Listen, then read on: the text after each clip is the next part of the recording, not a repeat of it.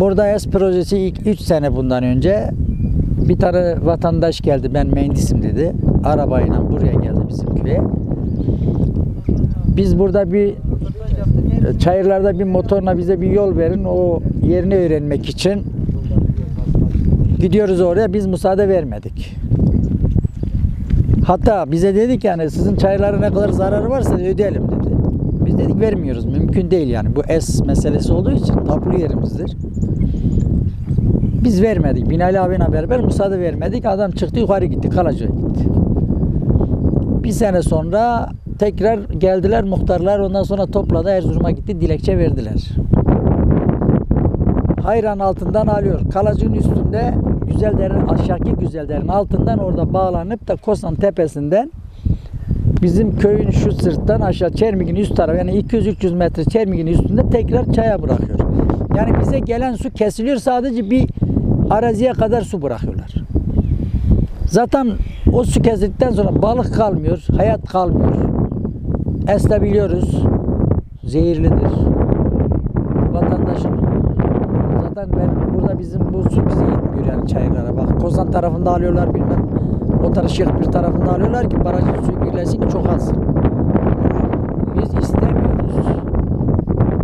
Çünkü ben emekliyim. Torunlarım geliyor buraya. Mesela benim akraba biz 15 20 ev, şimdi 15 ev burada 16 ev mevcuttur. Burada 3-4 ev de kalıyor kışın. Bir de bekçi tutuyoruz. Biz köyümüz doğal güzelliğini kayb- kaybetmek istemiyoruz yani. Hem yasam kısınır hem bizim ormanlarımız gidiyor. Burada mesela 20 sene 30 sene bundan önce ormanın rengi başkaydı şimdi başka oldu.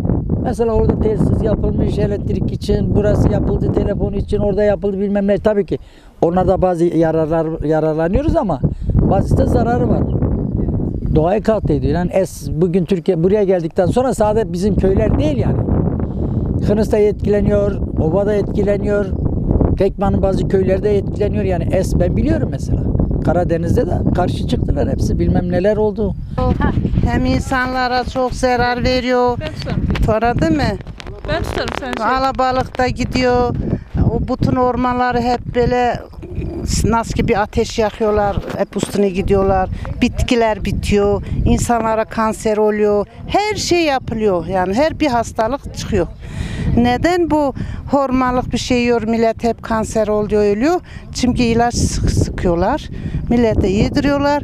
Millet hep hasta oldu. Hiç belli olmuyor. Bir baktık hastaneye gittik kanser. Bir sene sonra, altı ay sonra gidiyor. Yapılmasın. Biz istemiyoruz.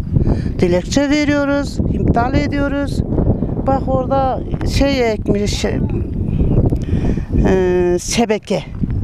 O tarafta ben geçen sene oduna gittim. Hep o şeyin üstüne hep sipsiyah olmuş. Demek o bile etkileniyor. Ama köy doğaldır, güzeldir. Niye böyle güzelliği yok etsinler ki öyle değil mi? Çok yazık oluyor yani. Bu kadar işte istemiyoruz. istemiyoruz. Zaten zaten yerimiz orman orman bölge olmuş. Sadece bu gördüğün şey var. E onu da alsa es olsa biz ne yaparız? Biz nereye gidiyoruz? Bu bizim vatanımızdır yani. Yani biz bu vatanda başka bir yere giremiyoruz. Yani biz burada büyüdük, biz de o doğduk, burada doğduk, büyüdük, yaşadık. burada yaşıyoruz. İşte yaşıyoruz. Bunu da istemiyoruz. Bu HES projesi yapılırsa hayatınızı nasıl etkiler peki? Ya işte ne nasıl ekleniyoruz? Daha Hastalık geliyor. hastalık geliyor, ondan sonra kanser geliyor, ondan sonra hiç bitki olmuyor yani bütün şeyler oluyor yani görüyoruz televizyonlarda görüyoruz yani şeyden e, Akde- e, Ka- Karadeniz'de işte o- oralarda görüyoruz yani. ES projesi de vardır. Biz itiraz dilekçesini valiye verdik. Bize cevabı geldi. Yapılacak herhangi bir mu- müdahale yapsan da yapılacak Peki dedi. hangi bölgeleri kapsayan bir şey ve nasıl sizinle bir bir irtibata geçtiler? Ilıca, Güzeldere ve Kalecik, Hayran, Saltepe. E, en fazla yetkilen Ilıca, Kalecik, Güzeldere, Hayran. Saltepe o kadar görmüyor. Bize anlattı. Hayran dibinde bizim köyün yamacından karşı tarafa tepeye suyu çıkarıyorlar. Hı hı. E, mesela e, köylünün malı, çayırı hepsi sulama susuz kalır. Hatta ben kaymakam beyin yanına gittim söyledim. Dedi su payı bırakıyorlar. Yarın bu kanal eşti suyu götürdüyse bu dereler hep kıpkuru olacak. Kırmızı ala, ala balık var. Biz onu da söyledik. Hatta dilekçede yazdık. Bunlar ne olacak? Buna biz itiraz dilekçesini yazıp vereceğiz. Biz istemiyoruz bunu. Kalecik, Saltepe, Hayran muhtarları. Bir dilekçe verdi. Cevabı bize geldi. Yapılacak dedi. Ha, ya bunlar ama yapılacağı söyleniyor. Yapılacak söyledi. Peki siz ne, yap- ne yapmayı düşünüyorsunuz bu Biz konuda? gene de direniyoruz. Bırakmıyoruz. Ne yapacaksınız? İstemiyoruz. İstemiyor. Devlet bize çare çözüm bulsun. Bu derelerin suyunu kurursa bu hayvanlar, bu insanların hali ne olacak?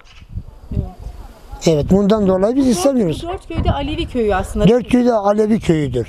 Ha Alevi köyü garibandır. İtiraz etmiyorlar. Ondan dolayı devlet yapar. Ama biz gerekeni yaparız. Müdahale ederiz. Yap, bırakmıyoruz bunu. diyorsunuz. Tarımla uğraşıyoruz. Köylü vatandaş mesela hayvan besliyor. Bu es barajı yapıldı mı ya? Bunu her hastalık kapar insanlar. O zaman biz burada yaşamayalım. Bütün arazilerimiz bırakalım kaçalım. Ama nereye kaçacağız? Devlet buna çare çözüm bulsun. Zorunda Göçler de geri dönüş yapacak. Gene teke batıya gidecek.